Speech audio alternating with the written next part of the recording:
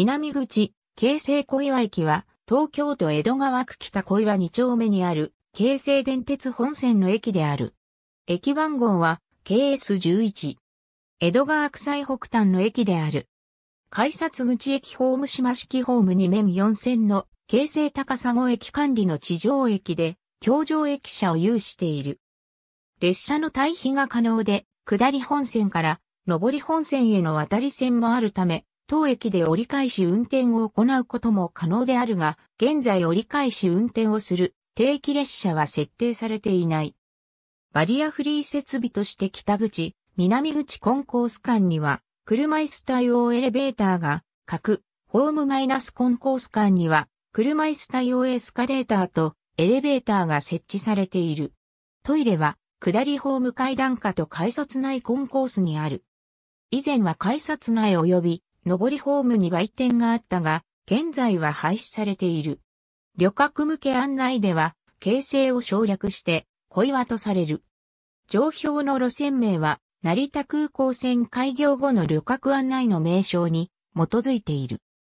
隣接する京成高砂駅が2方向からの電車が集中し、さらに車庫への出入庫列車が交錯することもあるため、当駅では普通電車の快速特急や通勤特急、特急、イブニングライナーの対比や普通と快速電車の接続待ち合わせなどが頻繁に行われる。北クラッシュ時の平日下り17時台以降における当駅の停車本数は日中時間帯に比べて1、2本ほど発着本数が少ない。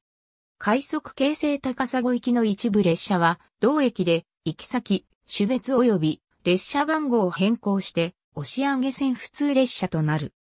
当該列車は当駅から浅草線に島込駅、京急本線品川駅まで各駅に停車する。かつては特急も停車し、当駅折り返しの始発電車もあったが、北総、高段線の京成高砂駅乗り入れに伴い、廃止された。なお、青戸駅の高架化、工事10月19日までに際しては、青戸帰り駅に都営浅草線からの折り返し列車用の引き上げ線が確保できなかったため、直通列車を当駅まで延長して折り返させることで対応していた。当駅付近では連続立体交差事業の計画がある。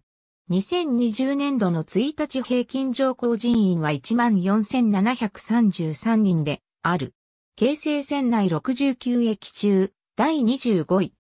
近年の1日平均乗降、乗車人員推移は下表の通りである。駅の周りは江戸川区北小岩と葛飾区鎌倉の住宅地が密集している。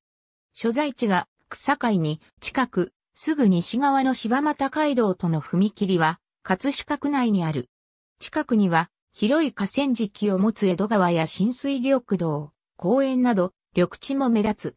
江戸川河川敷へは隣の江戸川駅が資金だが、当駅より下記の京成タウンバスも利用できる。東日本旅客鉄道の小岩駅とは約 1km ほど離れている。なお、両駅間には路線バスが2系統運行されている。